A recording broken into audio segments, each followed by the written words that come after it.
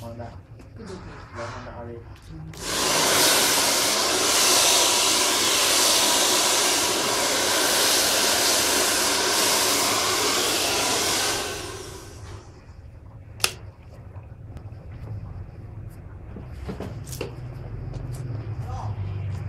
cầm máy sấy này sấy sấy